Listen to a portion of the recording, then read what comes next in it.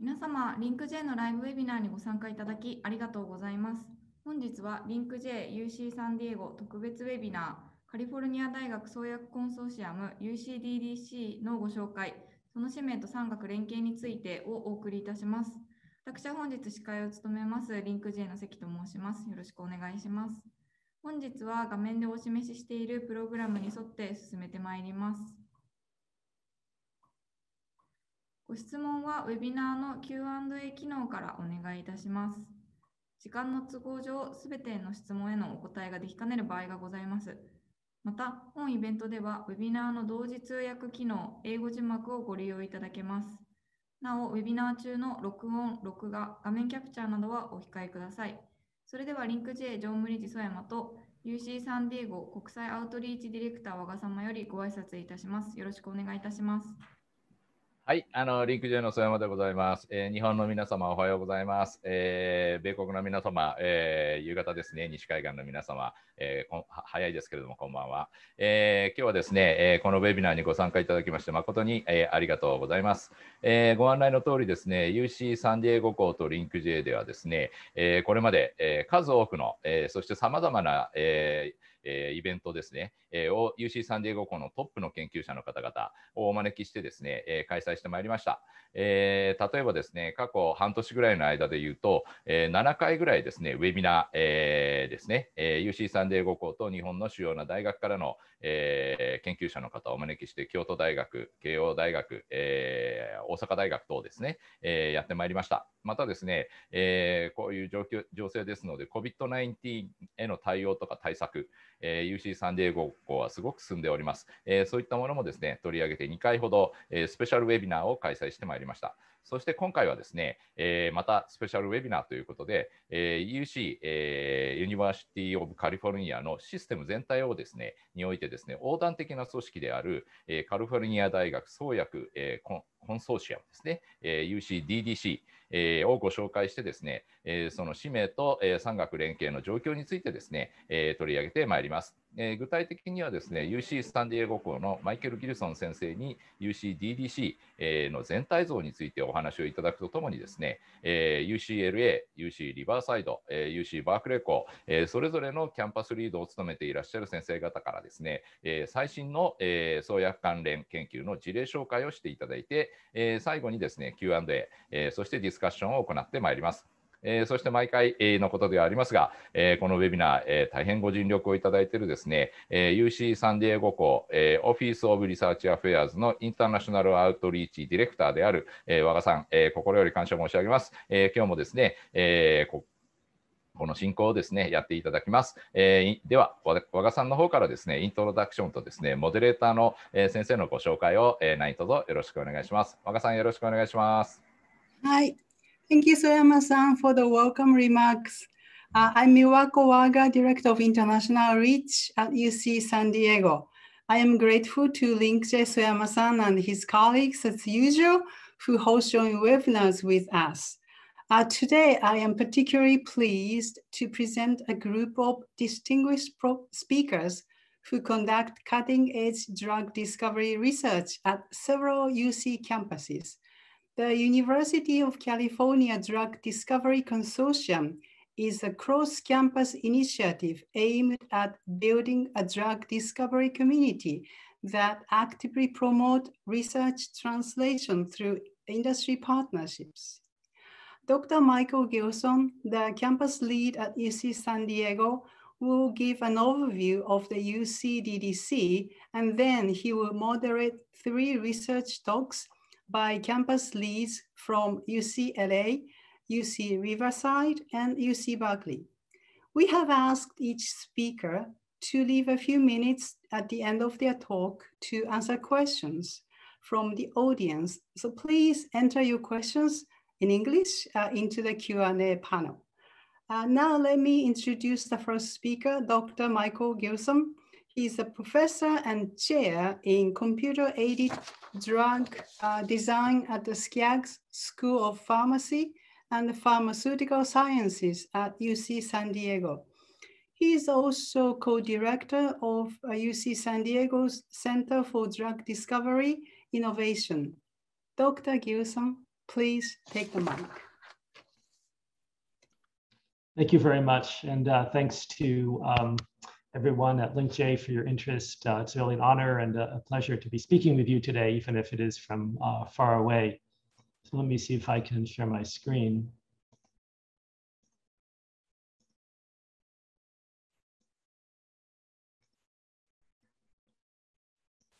So as uh, you heard, uh, what I would like to do today is to tell you about a new organization at the University of California, fairly new, called the University of California Drug Discovery Consortium in hopes that this may be of interest to some of you as a basis for collaborations and connections with the University of California.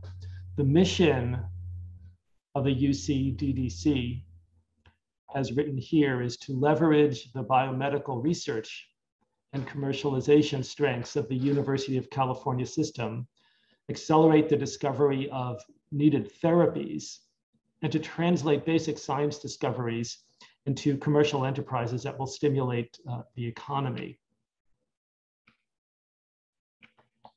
We work with uh, partners in industry where our value proposition is to provide our partners, companies outside the UC, with access to what we believe is the largest pool of academic biomedical researchers in the United States. This is the faculty and uh, researchers at the University of California campuses taken together.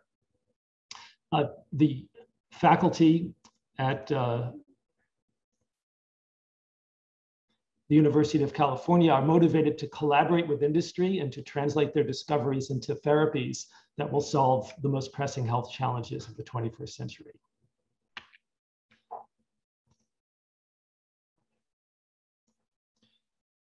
The benefits that partners with the, that our industrial partners can gain by working with us are early, fundamentally early access to the latest innovation and the latest discovery in a wide range of biomedical areas related to the development of new therapies. The Drug Discovery Consortium is a single point of entry to the University of California system and its drug discovery resources. It's, as far as we know, the only way that an external partner can access um, research across multiple UC campuses through one point of interaction. Uh, we offer um, convenient access, a convenient route to sponsor research at the University of California with pre-negotiated agreements and terms in place that make it easy to start up a relationship. Uh, we offer project management support for any funded projects and mentoring for those projects. And one of the roles that we play, since we have representatives at multiple campuses, is the ability to help partners find research that is of interest to their uh, companies at the at University of California. Uh, in a very brief history, uh, the Drug Discovery Consortium is a multi-campus entity that was created by uh, another multi-campus entity, the Biomedical Research Acceleration, Integration, and Development Group. It was initially supported by a grant from the University of California. And in 2019, we organized the ability to, to bring in private partners, industry partners to connect with us and to connect with our campuses. we bring together seven exceptional University of California campus medical centers, as well as the other parts of the campuses, engineering, uh, chemistry, biochemistry, and thousands of faculty that enable you to share resources, that will share resources and expertise. So the campuses of the University of California, Los Angeles, San Francisco, San Diego, Berkeley, Davis, Irvine, and Riverside. And here you see uh, some rankings, national rankings in terms of biomedical research um, of the individual campuses and the number of startups that we produce. And what you can see is that the individual campuses are already highly ranked. When you put them all together, this is really a research powerhouse.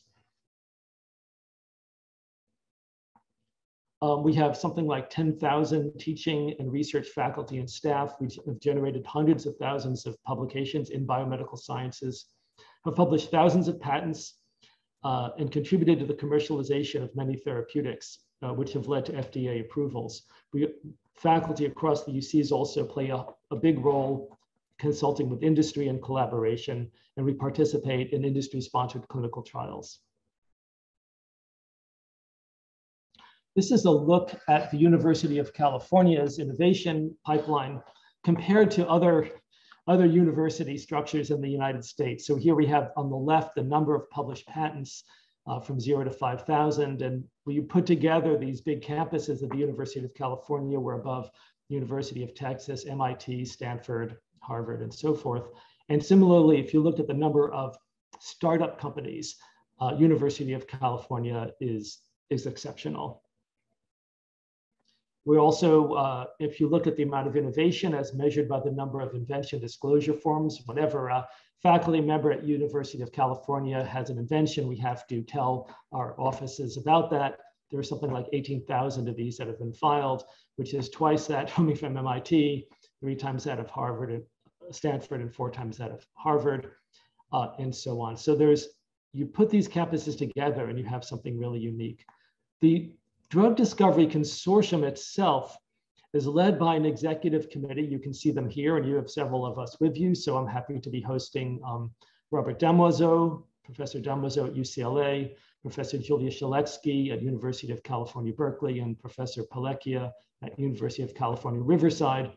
These are our leads at um, UC Davis, UC Irvine, and UC San Francisco. And we also work with Jordan Kovacev, uh, who is our administrator. So how do we, um, more specifically, how does University of uh, California Drug Discovery Consortium uh, help uh, work with our partners? In particular, what we're able to do is that a partner that we're working with, we can work with you to craft a request for grant proposals that goes out across all the University of California campuses where we work. And we invite submissions from the faculty on these campuses uh, in, in your areas of interest. Uh, we then look these over, we work with you to select projects which are of high interest.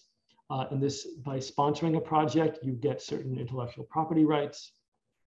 Um, you also have access, which we help you with, to a database of faculty members and researchers active in specific areas. So if you're interested in immuno-oncology or interested in uh, metabolic disease, we can identify the faculty and contact them directly regarding their uh, uh, research in these areas.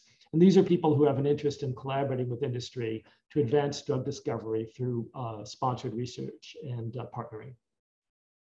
And at each campus, as you've seen, we have a representative at each participating campus, and that lets us provide personalized assistance, identifying faculty uh, experts in your areas of interest.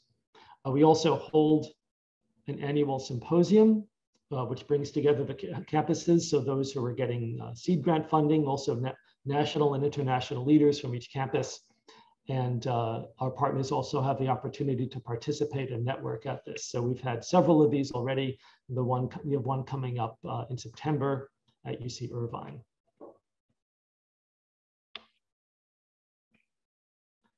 Um, this is uh, about the seed grants. So uh, when we request proposals, we work with partners to craft a request for applications that expresses the partner's interests. If necessary, we can uh, seek review of some of these proposals um, to get expert uh, input.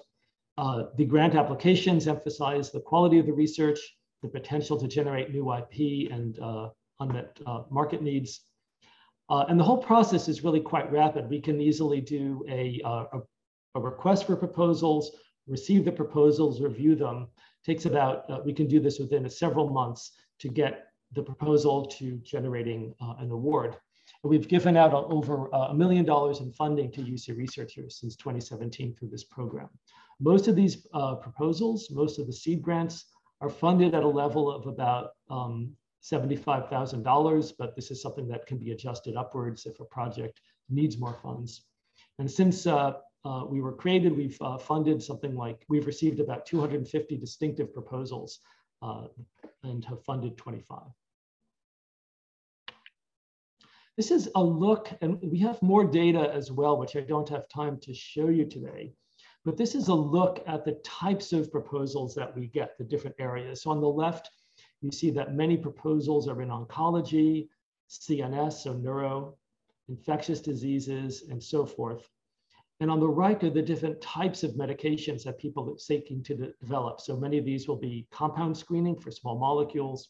Uh, uh, many of them will be doing at the med medicinal chemistry stage. Some of them are preclinical and so forth. So we have a, a wide array of uh, projects in terms of therapeutic areas and project stage. Uh, this is a look at the different types of uh, projects on the left. Most of them are aiming to come up with a small molecule therapeutic. Uh, many are also looking for biologics or, or conjugates.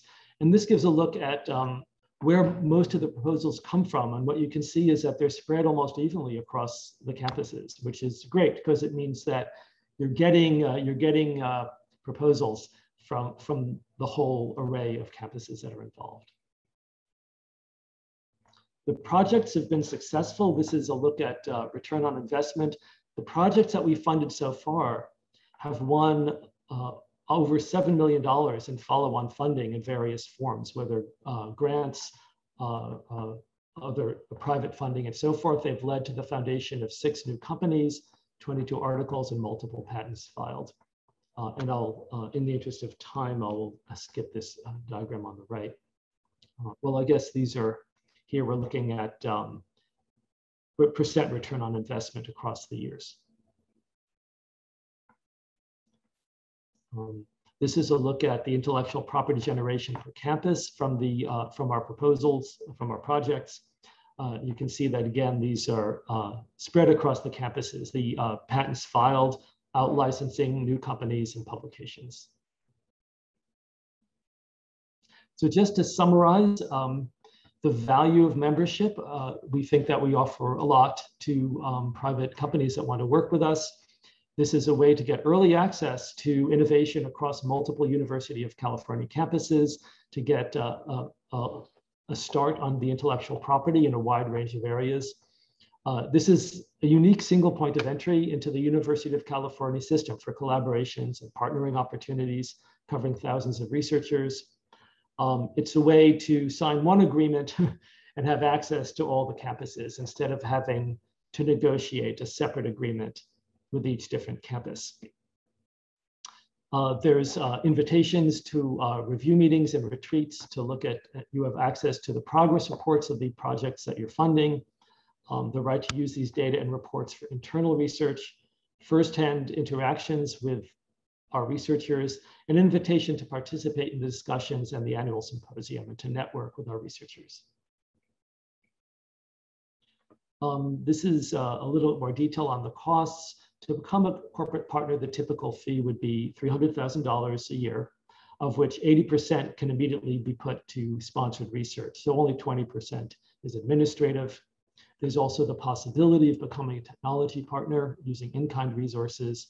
And this fee gets you the uh, ability to hold these sponsored research uh, requests for proposals, to sponsor the research and interact with our researchers.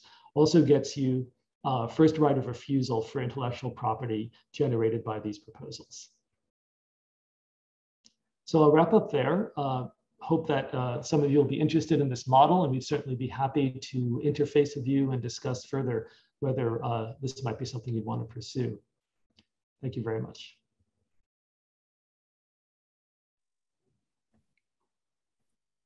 Thank you very much, Dr. Gilson.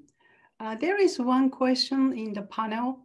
Um, the, uh, the question is, in what cases do you choose to create startups instead of collaborating with established pharmas? Mm -hmm. So um, the startups result not from the seed grants that are based on our partners. The way that the Drug Discovery Consortium started was with a large grant from inside the University of California. So we were giving out seed grants from that, and that can lead to a new company because it's, it's not tied to a partner. Um, now, it's also true that if a partner funds a project and then decides not to pursue it, then again, you could have the possibility of, of a new company. But certainly, our goal is to do work that is of interest to our partners uh, that would lead to uh, further connection and further development with them. So uh, this is a question from myself. Uh, because there are so many campuses and there are so many researchers and also research topics, uh, it must be very difficult for any potential partners to identify who, who and what topics. So if uh, any any uh, potential partner um, contact one of the, the campus leads can they lead to uh, an appropriate researchers on other or their campuses? How does this initial contact would work? Mm -hmm. Well, I think what we have found over the years is that the seed grant process is very productive. So we work with a partner to come up with a, a request for proposals that reveals as much as a company is comfortable revealing about perhaps a company is interested in immuno-oncology or something even more specific, um, that information can be provided to potential uh, faculty who are interested. And then those who are interested can submit a proposal. And what typically happens is that some company, I mean, it's understandable, companies don't want to share all of their interests in detail. But we give a general picture we send an email to our campuses. So I send an email to the researchers on my campus, for example, giving the general areas of interest and then uh, inviting people to ask me for more information. And then I will reveal more details of, um, of the company interest. And another thing that we can do is that a faculty member may give us a few sentences about their project. I want to, you know, have a, an idea for a compound that will be, you know, useful in immuno-oncology by a certain pathway. I can share that information with the partner and say, is this of interest to you? If so, then a proposal will be written. Um, that's probably the most productive method, but we've also individually gone to research. So each of us knows a lot about the research that's going on on our own campuses. So if the initial request for proposals, you know, maybe we were looking for something different or something more, we can go and contact people directly and say, you know, there's this opportunity, perhaps you'd be interested. And that's also been productive. I see. So uh, there's another question. Uh, do you do you give opportunity to early stage researcher? I think this means postdoc or um, early career faculty. Um, so eh, faculty members are all eligible to submit proposals.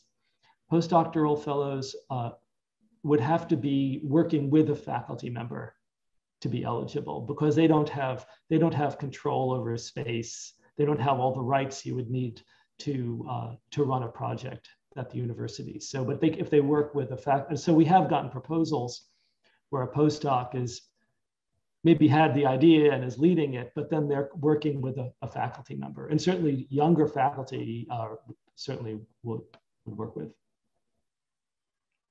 Thank you. Uh, so you also mentioned that there, there will be an annual symposium in September. And uh, do you plan to do it in person or virtual format? This will be hybrid. So uh, we, we uh, It normally has been in person. Uh, last year, we didn't hold it at all for obvious reasons. And this year, um, the University of California has been very active at getting faculty and staff vaccinated. And um, so it will be a hybrid meeting. So this uh, meeting is uh, uh, only uh, uh, members are eligible to attend or is any part of the symposium open to the general public? Um, it's not open to the general public, um, but if there's somebody who is interested in attending, they should contact me or anyone else on the committee and we'll see what we can do because we are, you know, the member, it's the members, it's our partners who of course have a place there, but we're also interested in connecting with other people, so. Okay, so those who are interested in should go to the UCDDC website and, uh, and find the contact information uh, you know, email, you know, for e your email or other addresses and yes. just get in touch with you and others uh, and express interest to uh, yes. attend uh, virtually. Yeah, and then we'll we'll see what we can do. It would be it would be new for us, but we'd certainly like to be welcoming. Okay, thank you. Um, how about the interest in infectious disease, uh, diagnostics, and therapeutics? There certainly are people working in those areas uh, at the UC. Uh, we have a database of um, faculty and their research interests. So uh, if there was a specific inquiry, you know, this is something that we could look into and give some reports on. I don't know it, and I don't have numbers uh, in my head, but we've done this before working with people who are considering joining to give them some numbers about what how much work is going on in their areas of interest. So again, if somebody wants to contact me or any of us, we can start uh, helping with that information. Okay, thank you. Thank um, you. So uh, um, in the interest of time, and also uh, that's the end of the uh, questions from the audience, uh, I, I like you to go to the uh, next session, which is the research talks. However, before that, I just want to encourage the audience to send us questions if they have, you know, of course, for the rest of the, the session, but also even after the webinar about any questions that they might have about the, the, the consortium so that we can continue the conversation. So uh, with this, I'd like to uh, close the uh, little Q&A session for your talk, and I would like you to take over and uh, start the research session, please. Thank you so much. And yeah, let me add that um, indeed there's a, a, website for the University Drug of California Drug Discovery Consortium with contact information. You should feel free to contact any of us to find out more. Ask uh, Professor Pellecchia to unmute himself and turn on his video. Uh, and uh, okay, there you are. So maybe you can start sharing screen uh, while I introduce. So I'm happy to introduce Professor Maurizio Pellecchia. He's professor of biomedical sciences at the University of California, Riverside School of Medicine, where he is the founding director of the Center for Molecular and Translational Medicine, and the uh, has an endowed chair in cancer research. Cancer research. His research focuses on new approaches uh, to drug discovery in oncology and neurodegeneration. And his work has led to multiple follow-on translational efforts in uh, the biotech sector. Uh, Dr. Pellecchia, please start.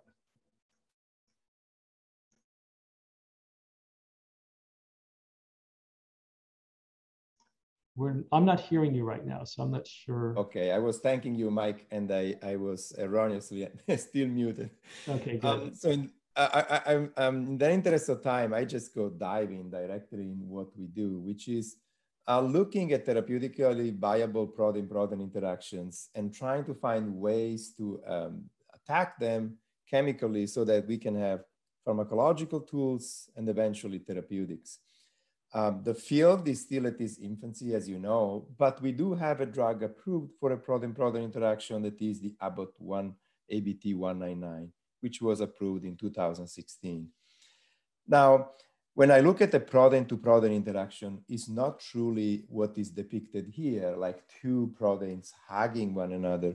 It's mostly one protein functioning as a receptor and the second protein functioning as a ligand.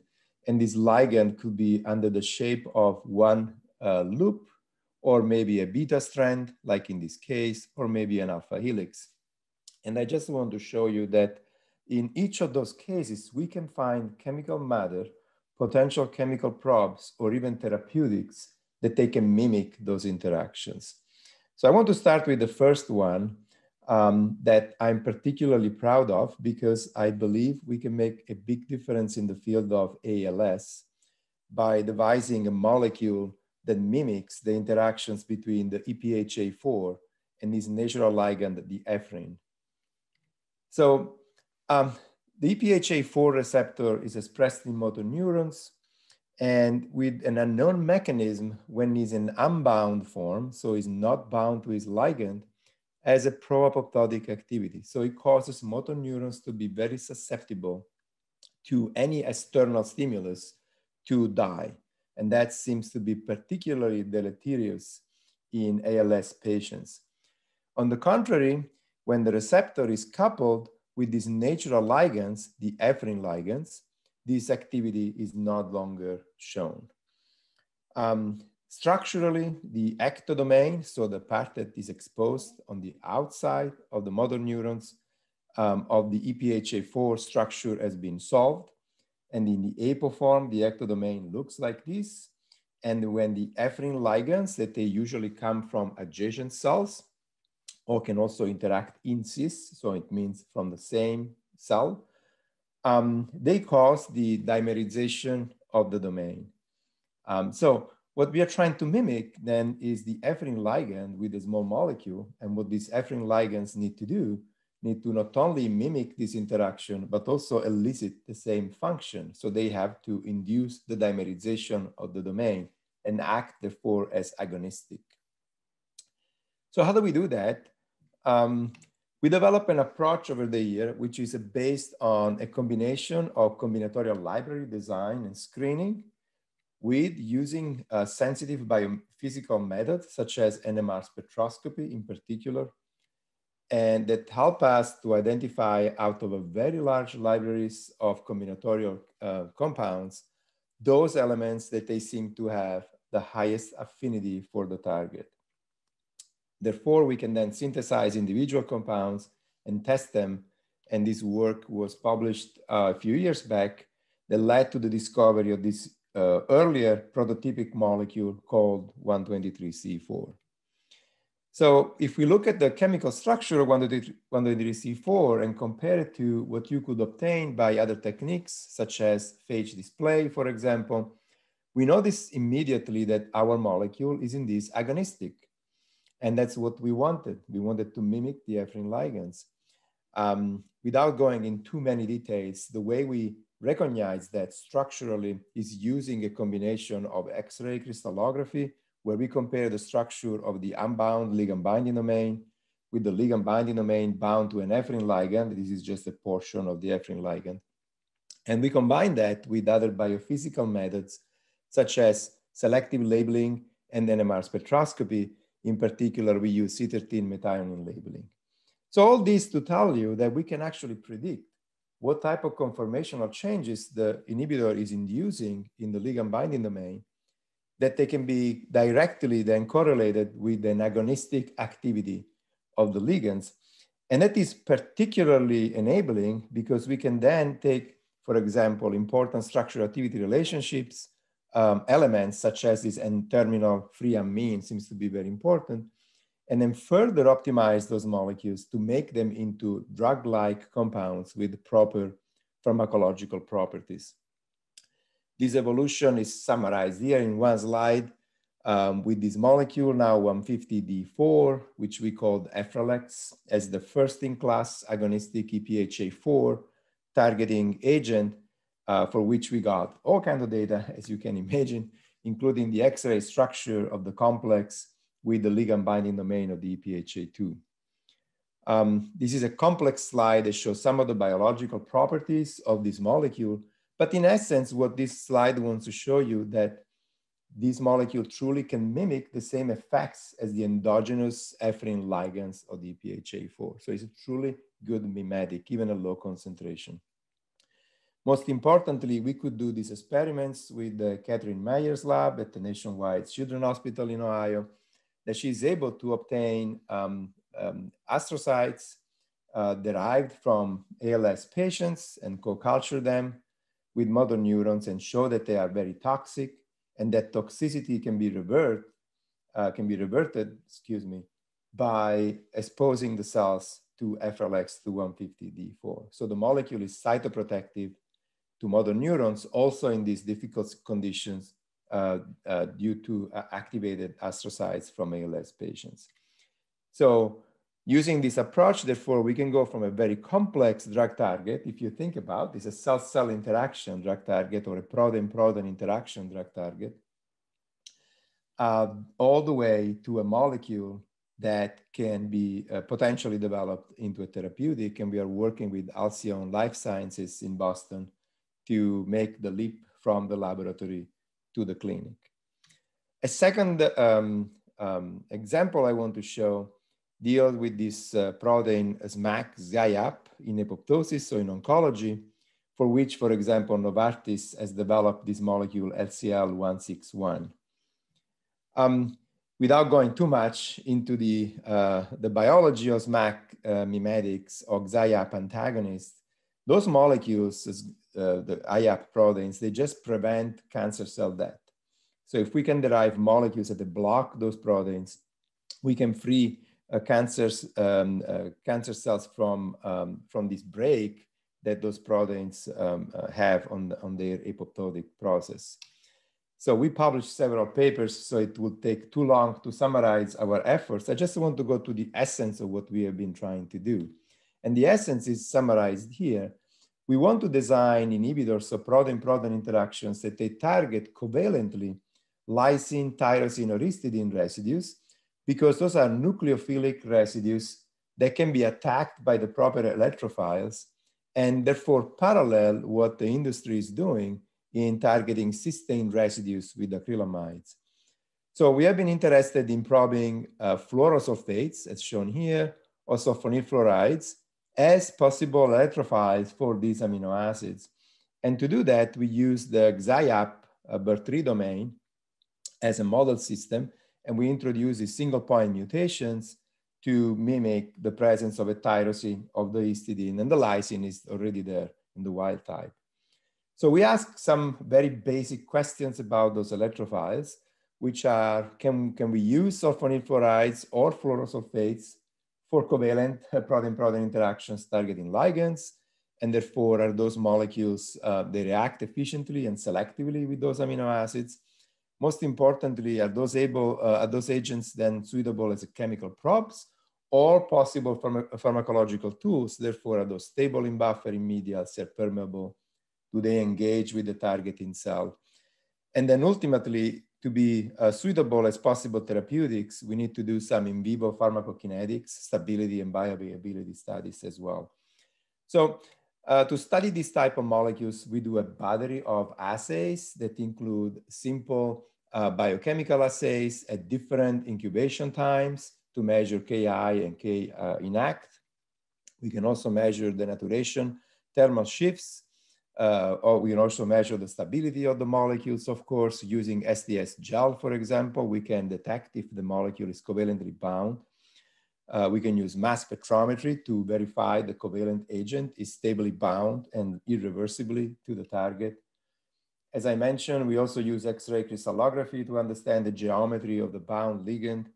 And, and eventually then we go in cell-based assays where we can measure cellular denaturation thermal shifts, and in the case of this particular target, apoptosis and sensitization to an external stimulus such as TNF-alpha. And then ultimately, as I mentioned, we want to measure uh, ADME um, uh, tox properties uh, in, uh, in mice. So this work, I just can give you an example of the several papers we published culminated into this compound 142D6 that is a first-in-class pan-IAP antagonist that is covalent with all uh, against all the uh, uh IAP family proteins. And we can demonstrate that in a variety of assays, including the cellular thermal shift assay, that is actually engaging in cell directly covalently binding to one of the targets. Most importantly, it's in uh, a variety of cell lines and cell experiments, the molecule behaves as well as the clinical candidate LCL 161 from Novartis, which is not irreversible, including uh, breast cancer cell lines, for example. I think what the striking uh, piece of data came when we went to uh, study those molecules in vivo. And the most important uh, take-home message is that these uh, fluorosulfates, that they can be very good electrophiles for lysine in particular, they seem to be um, um, orally bioavailable which is pretty remarkable. So the molecules are very, very stable, in fact, at low pH, as we studied in the laboratory, and they are orally active and orally bioavailable. And, and as I mentioned, they're very, very active against, in particular, this triple negative uh, breast cancer cell line, at least as good or better than LCL161. And we are now in the process of uh, running tumor xenograft studies. And this molecule is part of our Media Labs, a new venture that is uh, uh, aimed at developing those molecules to the clinic. What about uh, fluorosulfates are very good. What about sulfonyl fluorides? Uh, fluorides tend to be too reactive, as, as this picture is going to show you. uh, we were able to tame them so to find the right balance between the reactivity and selectivity of those molecules. And uh, to do that, we found uh, proper substitutions and we were able to incorporate some of those molecules in um, uh, agents that they seem to be also very uh, potent, self-permeable and active. However, there's a variety of other sulfonyl fluorides that we intend to investigate. Um, just to conclude, uh, I want to show very briefly an example of an alpha helix mimetic that is covalent using those strategies. This is one single slide. We just published this work um, about a month ago, where we could really identify a selective and potent alpha helix mimetics that is covalent, and we could solve the crystal structure of those molecules. And this is the first in class uh, MCL1 antagonist that is covalent and exquisitely selective for uh, this target. So we envision that those strategies can be combined in general methods to identify potential antagonists uh, to protein-protein interactions. And I would like to um, take any questions, and those are the folks in the lab that have helped uh, carrying out the experiments I have been showing. Thanks so much. Uh, officially, time is up, but if there's a, a, question or two, we can try to answer those quickly, I think, if that's okay with uh, Ms. Waga.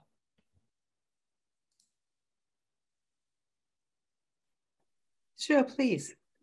Okay, well, I'm not seeing any right now. So let me start introducing our, our last speaker, but if people can type their questions and we may still get to something. So thank you again, uh, Professor Kalecki. I want to introduce our, our third and last speaker for the uh, for your morning, I guess, um, Dr. Julia Shaletsky. Dr. Shaletsky earned her doctorate with Professor Tom Rappaport at Harvard Medical School uh, and HHMI. She then spent 11 years in industry discovering and developing first-in-class medicines that have gone to clinical trial for heart disease and neurodegenerative disorders. She's currently at the University of California, Berkeley, where she directs the Henry Wheeler Center for Emerging and Neglected Diseases, whose mission is to work globally against, uh, against these, uh, these problems.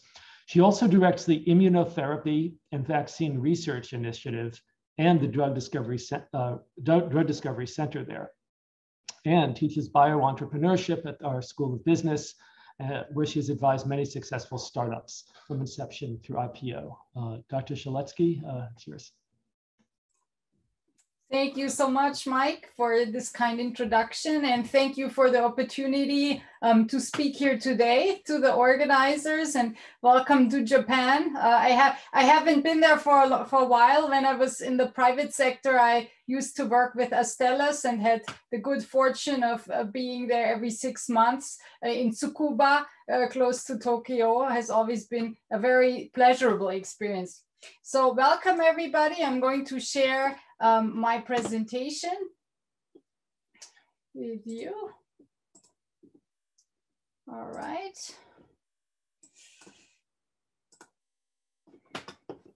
And today I'm going to talk about a project just as an example of, of what we work on with the Drug Discovery Center at UC Berkeley. Um, the previous speakers have done an excellent job at highlighting uh, the capabilities within the UC Drug Discovery Consortium. And I'm just going to give one example of a project that we have run um, during the COVID pandemic.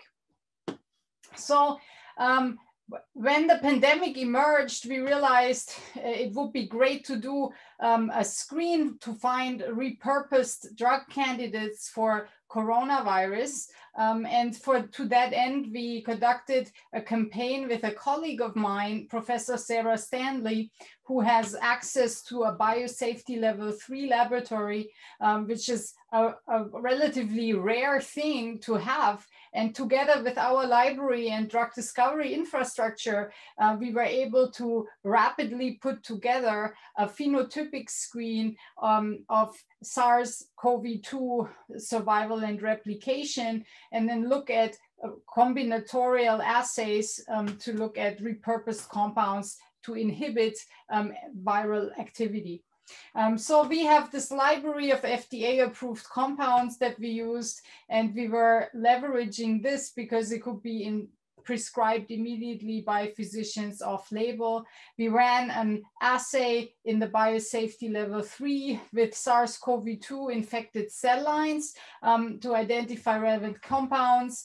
And we we wanted to focus on compounds active in human lung epithelial cells, which in the beginning of the pandemic, few people were using.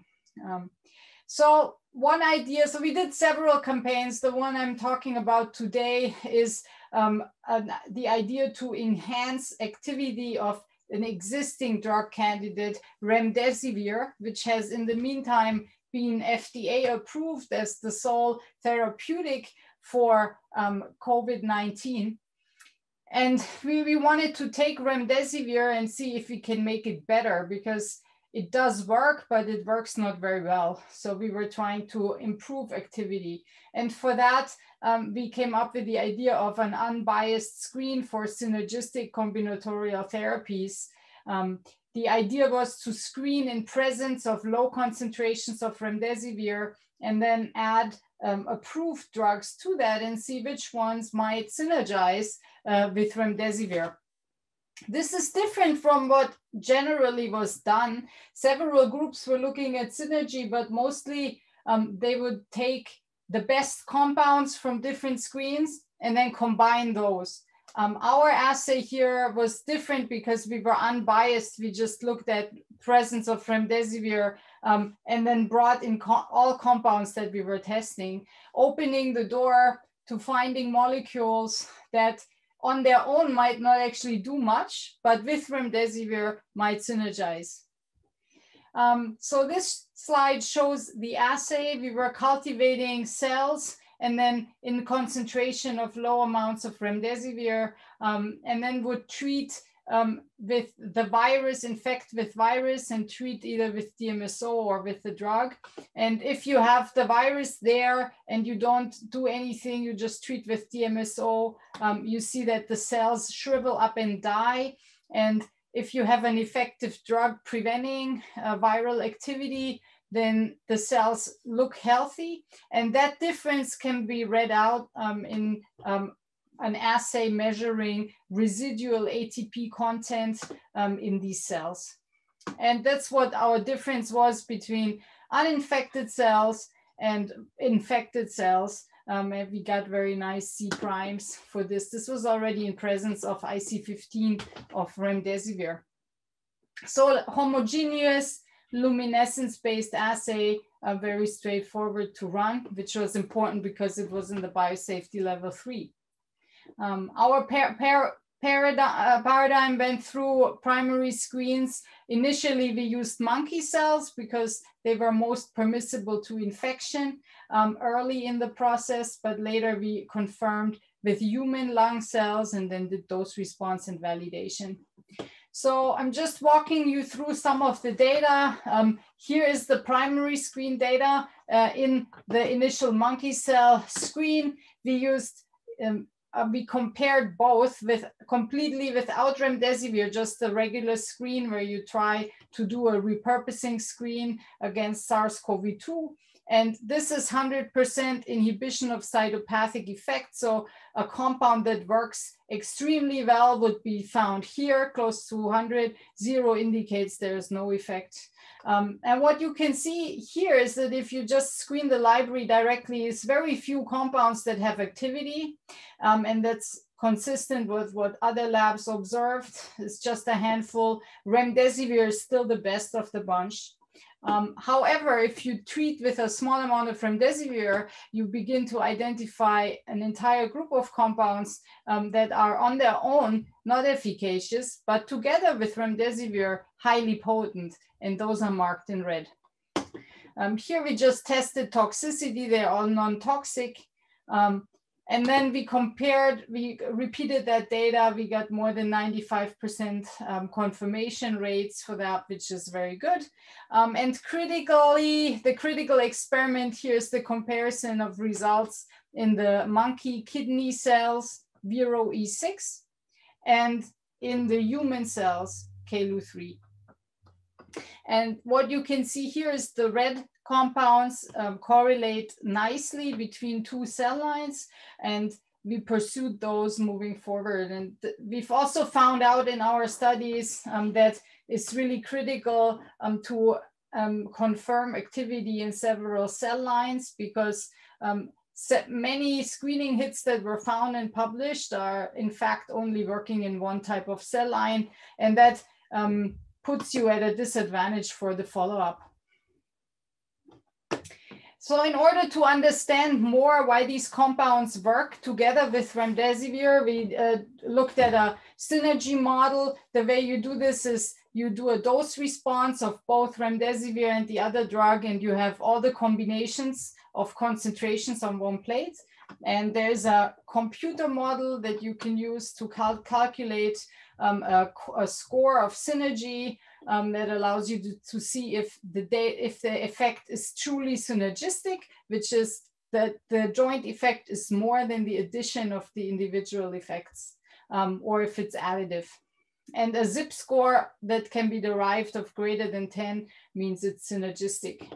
So here's the data just as an overview that we, we got from this. Um, this is a three-dimensional um, plot of, of both remdesivir and velpatasvir and all the different combinations.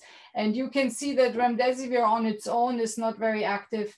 Um, was the drug we found, hepatitis C drug, um, also not very active on its own. But once you combine them together, you easily get 100% inhibition of the virus. And this is just a different display of the same thing. Here's the dose response of remdesivir up to 10 micromolar. You see a nice dose response. Velpatasvir alone really uh, not much of an effect at all. But once you combine it together, um, you see that the remdesivir becomes more and more potent. And this data shows you the quantitative uh, measurement of synergy scores over this interface. And you can see that there's a clear um, area where synergy is present with a zip score of 85, which is much higher than 10, what's required. Um, and if you slice this three-dimensional data set um, to look at um, the dose response curves. This is just one visualization that shows you remdesivir dose response alone. And then once we use velpatasvir in combination and also com combination of another drug that we found, um, we can actually improve um, the EC50 uh, by a factor of 30 fold. And this becomes now um, a nanomolar drug um, interestingly, just very briefly, this is also true for other for other hepatitis C drugs uh, that have the same mechanism than velpatasvir. Velpatasvir was the strongest one, but there's also uh, one made by Merck uh, called Elbasvir that was in the library that basically showed the same effect. We have, in the meantime, repeated this with all NS5A inhibitors that are available, and they all show this. So this is a class effect. Um, the, that level of synergy with remdesivir. And just very briefly, uh, some follow-up data, because all the data I've shown you so far was from the original screening assay, homogeneous cell titer glow assay. Um, and we confirmed this in several other uh, orthogonal assays.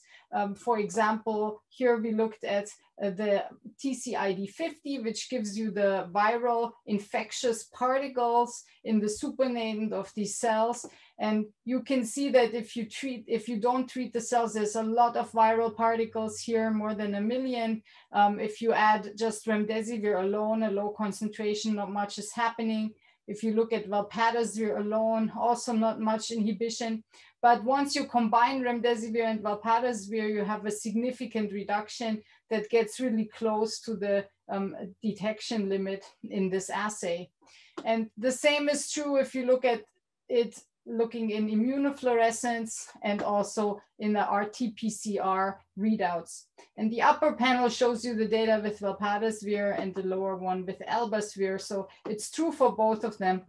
And to just go briefly through um, the immunofluorescence assays, um, here you can see the cells stained with DAPI for the nuclei in blue, and red is the nucleocapsid protein of SARS-CoV-2. And if you just treat with DMSO, you see evidence of infection, the cells are red, um, if you treat with valpatasvir alone, you also see um, a lot of infection there. Um, and then if you have remdesivir alone, it's not re removing infection completely, but once you combine remdesivir with valpatasvir, as shown here, um, the cells look practically indistinguishable um, from uninfected cells. Why is this relevant? We were excited about this because uh, there is some evidence that um, one thing that limits remdesivir activity uh, in patients is that the concentration of active metabolite in the lung is too low relative to the IC50 um, that is there. Um, so the idea is if you can shift the EC50 um, and you would get potentially better efficacy in patients and also would allow us to treat more people with the limited remdesivir doses that are being manufactured and reduce the probability of resistance development. How does this work? Um, just a quick um, overview of the mechanism that we've now um, shown, you know, have, have discovered. Initially, we didn't know really how it worked, but we had a hypothesis that turned out to be correct based on mass spec data that our collaborator at Columbia University has, uh, has gathered. Um, so when the virus is treated with remdesivir, um, you get a problem with RNA synthesis. It's similar like putting a, a coin of the wrong uh, currency into you know into a, a, vending machine you can get the coin in and then at some point the machine will jam and what the virus can do, it has a proofreader, an exonuclease that can help spit the coin back out and return the coin so it can still keep working, um, making its transcripts. But what our compounds do, um, the NS5A inhibitors that we found, like valpatasvir, um, they actually inhibit this proofreader, the exonuclease, and therefore the virus can't defend itself against um, these molecules like remdesivir as, effic as effectively. And that's also the reason why we don't see activity without remdesivir because the proofreader is not really needed unless you challenge um, the virus with remdesivir. And once you have remdesivir there, it becomes critical um, for us to, to take out the proofreader. And like that, we can really kill the virus um, and make remdesivir much more efficacious. All right, so we're working on a data package supporting progression into the clinic. Uh, we're working on um, inhalation modality potentially for this and uh, also animal data because one problem is exposure to this drug is not very high in the blood.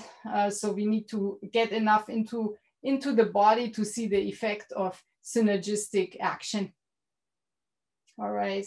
And this is the team that I've worked together with this on, on and um, it's just one of several projects that we involved with, with the Drug Discovery Center and uh, the UC Drug Discovery Consortium. Thank you very much for your attention and I'm happy to take questions.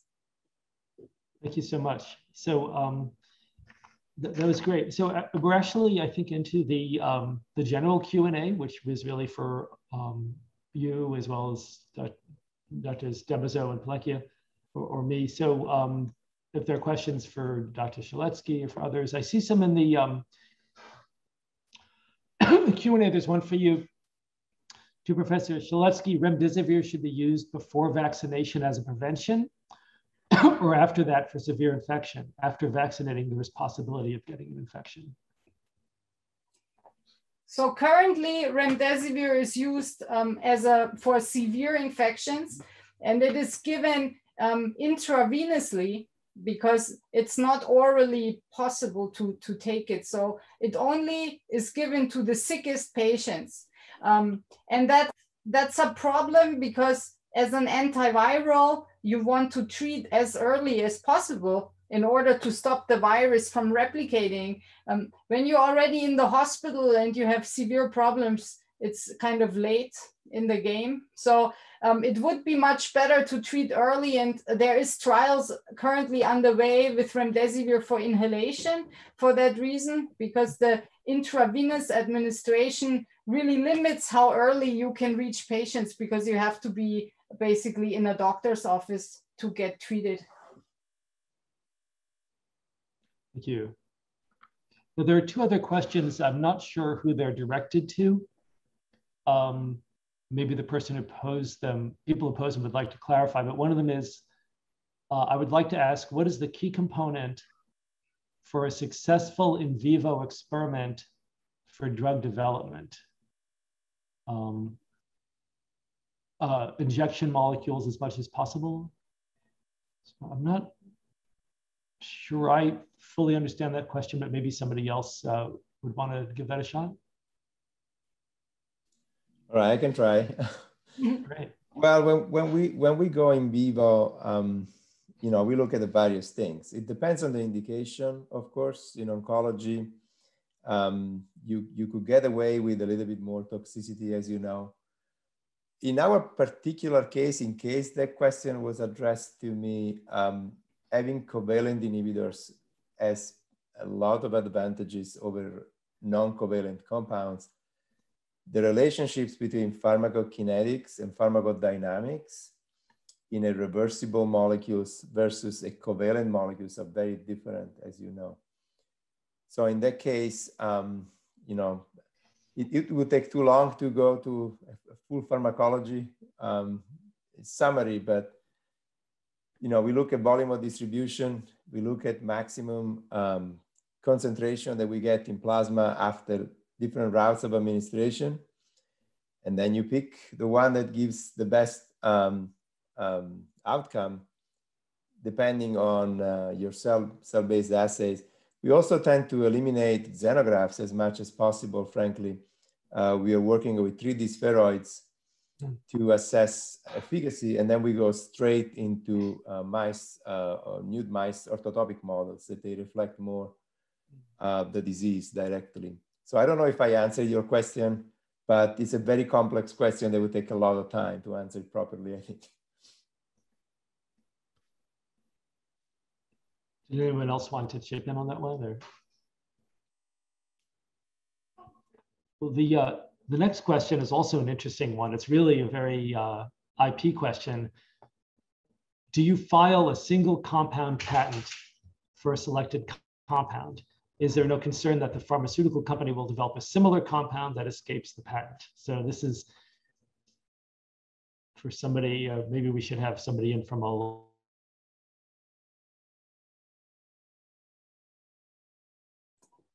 I think I think Mike Mike froze. So I um, I don't know, Julia, you want to give a shot yeah, to this one? Sure. Um, so since we this is a this is a complex question. Um, since we work with commercially available compounds, um, we tend to file mostly use patents as opposed to composition of matter patents, which is what a pharmaceutical company would file as late as possible, actually just before they publish or uh, submit initial new drug application to the FDA.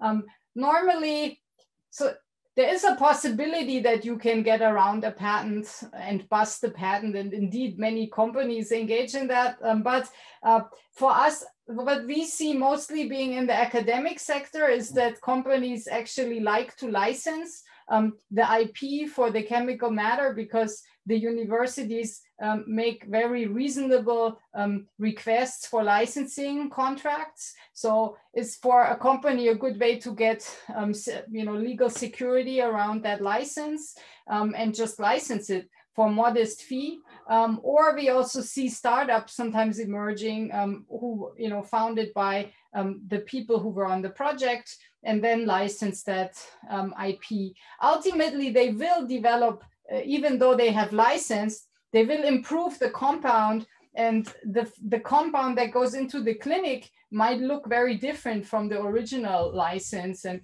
um, then they will have their own patent for that but they will just continue to pay you know for the use patent um, the fees that, that were agreed upon but we see actually on the IP side, um, this is something that has worked quite well, I, I, think, for the field because the, the contracts are reasonable. And so for somebody who spins a company out or a pharmaceutical partner, we do also industry sponsored research where um, we can work with a company and um, it's it's secret but then once we have a compound the um, the industry partner has the right to look at the structure and decide if they want to file a patent or if they want to license it. Um, and like that you know you can secure some ip and then do the rest of the medicinal chemistry exploration in the company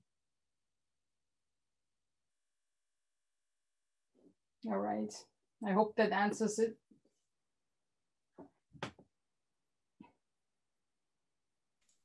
I'm not sure if Michael, Michael is back. I think Mike is frozen. Yeah, let me Michael see. is frozen again. I, but, but if I look at the time, we are precisely at the next step, which is concluding remarks. Thank you for uh, uh, doing the MC. Uh, uh, I, I wish we can uh, find uh, Mike again. I think I'm back. Ah, okay, great, great. Thank you yeah, very sorry much. about that. Yeah, so uh, it was a very uh, productive Q&A. Uh, there are a few questions that were asked uh, in the, uh, the Q&A box, uh, but it seems that um, the question can be answered after the event. So, um, well, with this, I'd like to conclude the research talks session. And I'd like to thank all the speakers uh, for their uh, informative uh, presentations. And special thanks to uh, Dr. Gilson, who made it possible to organize this special webinar. And it was truly a pleasure to work with uh, distinguished speakers at various UC campuses. It's, you know, we, this doesn't happen very often, but I'm really looking forward to do more because, you know, it's, it's wonderful to, to know that what is happening in the entire uh, UC system. So thank you very, very much for your uh, participation.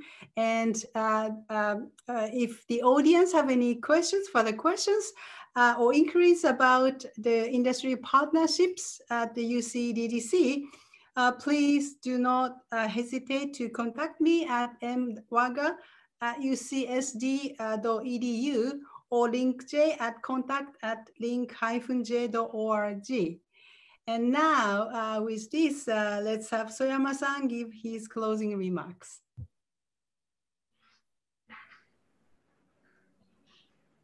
はい、あの日本語でやらせていただきます。えー、皆様ありがとうございました。あの特にですね、あの素晴らしい先進的な取り組みをご紹介いただいたですね、えー、先生方、えー、ダマーシア教授、えー、そして、えー、シャレスキー教授、えーえー、ペレチア教授、本当にありがとうございました。えー、でさらにはですね、えー、あの皆様のプレゼンの内容、えー、お取り組みの内容を聞いてですね、私個人としても非常に勇気づけられる思いでした。えー、そしてですね、冒頭にはですね、えー、ギルソン先生からですね、UC、えー、のですね、取り組みですね、えー、DDC の取り組みをですね、あの外活的にお話しいただいて、えー、これも素晴らしいなと思いました。あの和賀さんもおっしゃってましたが、ぜひですね、この、えー、UC のえ先端的な取り組みとかプロジェクト、えー、そして研究者の皆様、えーへのですねアクセス図りたい方は、えー、UCDCC DDC の方にですね、えー、コンタクトをいただいて、和賀さんも含めてですね、えー、あのぜひそこあの、いわゆる英語で言う Don't hesitate ってやつですよね。躊躇することなくですね、まずは、えー、コンタクトしてみてください。そこから新しいことがどんどん生まれてくるんじゃないかなと思いました。えー、そして最後にはなりますが、あの今回のですね、特別ウェビナー、もともとのアイディア出しからですね、和賀さん、えー、にやっていただいたんですよね。えー、で、アイディア出しはもちろんのことながらですね、その後の、えー、ギルソン先生とのコミュニケーション、そして、えー、ギリソン先生を通じてですね、今日ご登壇いただいた皆様方、えー、との、えー、ネットワークということで、本当にありがとうございました。えー、今後もですね、リンクで、えー、こういった形で、えー、日本のライフサイエンスプレイヤーの方に、えー、に、えー、の貢献はもちろんなんですけれども、まあ、皆さん、あのこの